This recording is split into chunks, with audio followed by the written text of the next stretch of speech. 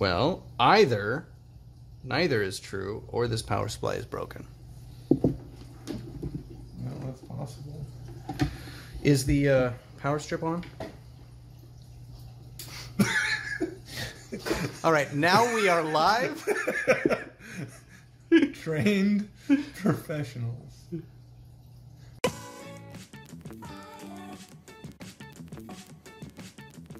Hey everyone out there in YouTube land, I am Perry Lovewhistle. And I'm Titan Reaver.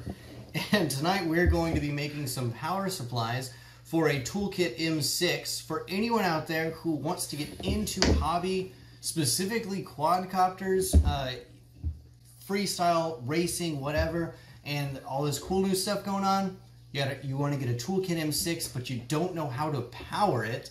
Uh, so what we're going to do is we're going to make a power supply out of an old laptop power supply, right? Uh, one out of a car jack, and we're going to have a, an old computer jack, computer, an old computer power supply. Yeah, some really oddly important part of all of these tools is how to turn them on. Uh, so we're, we're going to help go through that uh, just with some stuff we have available to show you a few different options for Yeah. what you're trying to do.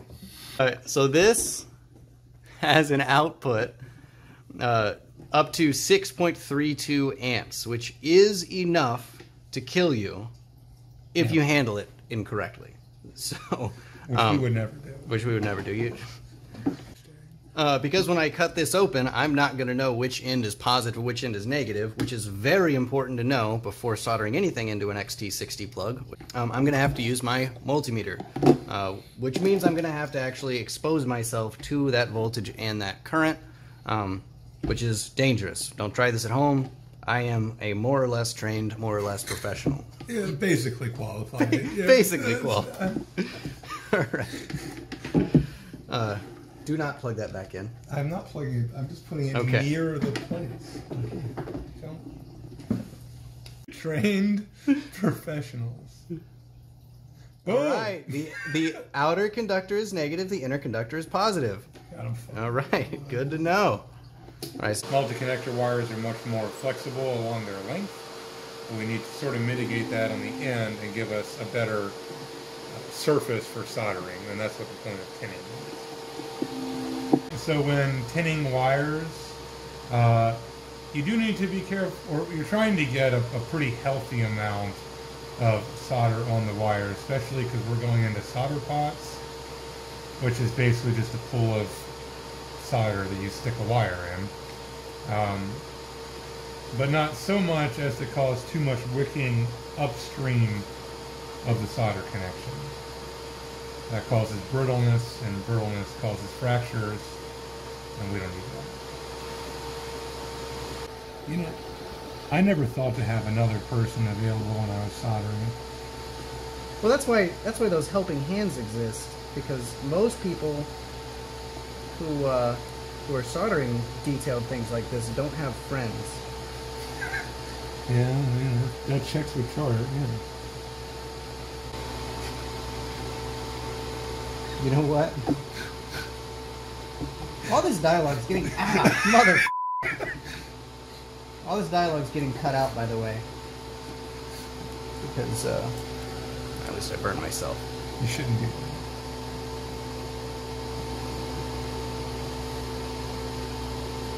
And then in lieu of the correct method, you can instead do the jam the soldering iron in there, jam the soldering it, solder in there. Yeah, we're getting heat up the up the cable pretty good now. So I think our, uh, heat shrink is shrunk. It's an indication we're probably done with that connection. Yeah, I mean it's solid to the back. It appears that there's solder in the bottom on the wire. So aside from our heat shrink Which problem, has to be cut off just like the previous one. and maybe if we thought about this, we could have mitigated this problem. And I'm thinking, nah, She over here. People said nothing good would ever come from smoking. Well, you showed them. I showed you, Paul.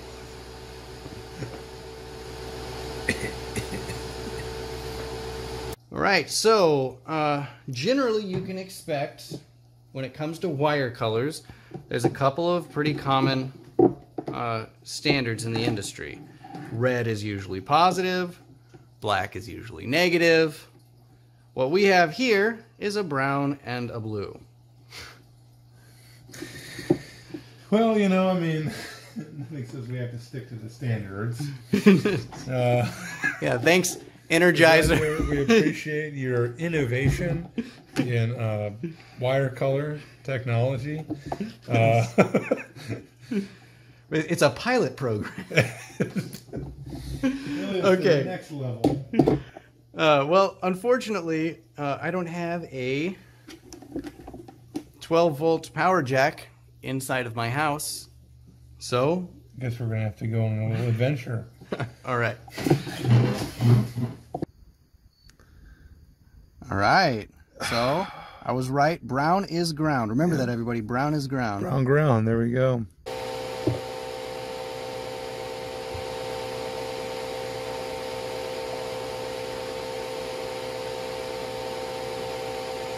Here we go. Mm. Now that Yeah, take a look at that guy. Oh, let's make sure it's focused. Yeah, look at that guy right there. That's some solder action that you can write home about. it's true. Shaboom. Shaboom! He says. That's a good. That's a good pot. Yeah, yeah, that's a, that's a good pot. I mean, it's as good as solder pots can be. Oh yeah, that's good. That's that good. Good. Now, I'm recheck, verify that our connection is still good. Twelve point four. It's Yeah. okay. I'm gonna edit that out because it's my YouTube channel. First try, everybody. First try every time. All right. So this is designed to go into a computer, which means if I plug it in,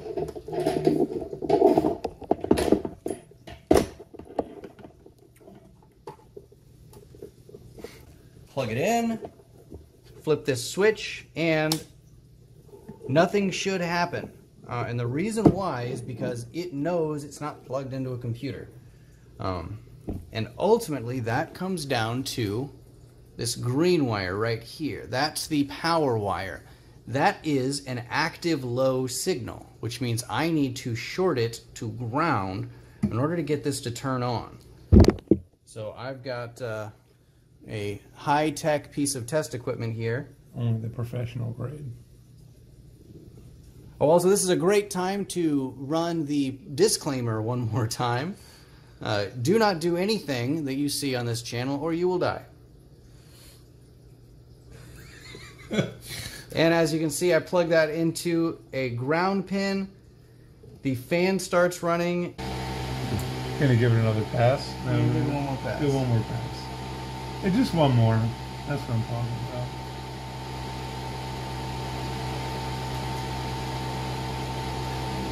Oh, now see that. Yeah, that's good.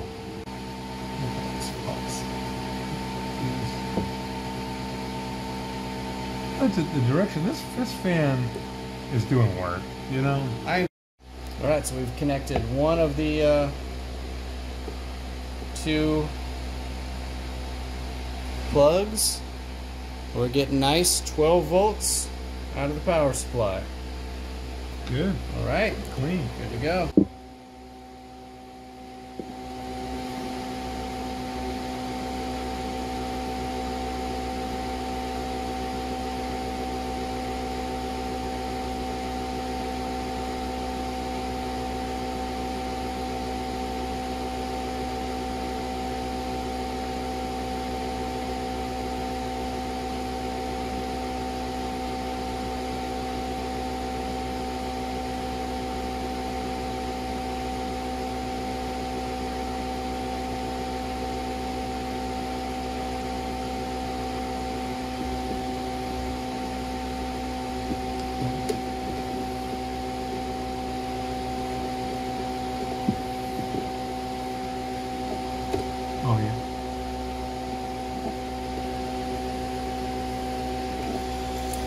That'll do, huh?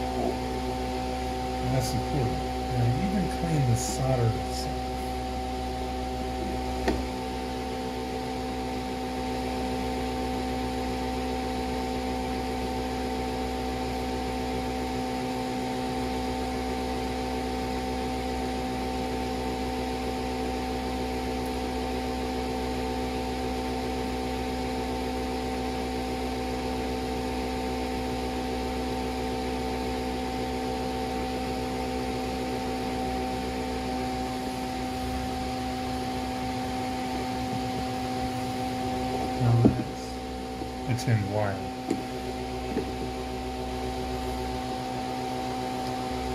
It's good, yeah. I can still see all of the different conductors. It's got a nice uh, shiny fillet. I know you like to hear the word shiny fillet. It's basically my favorite thing. Just gets me going. Now let's.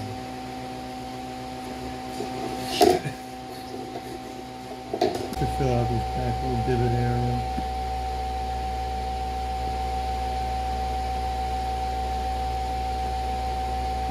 Yeah.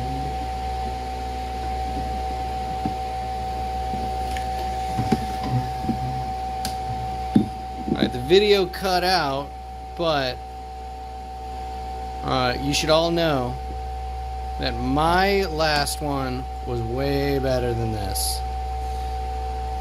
That's correct. First, we've got the uh, the plug coming off of the laptop power supply. It was not uh, not too pretty. Not what I would call our best job. Know? Right, we learned a little bit. Got uh, got our plug for the car power supply, which a little, little bit better, a little better. We learned a few things. Uh, right. Yep. And then our last two off of the desktop PC power supply. Looking good. You know, and we all know everything under there is pretty solid. So, yeah, it's good.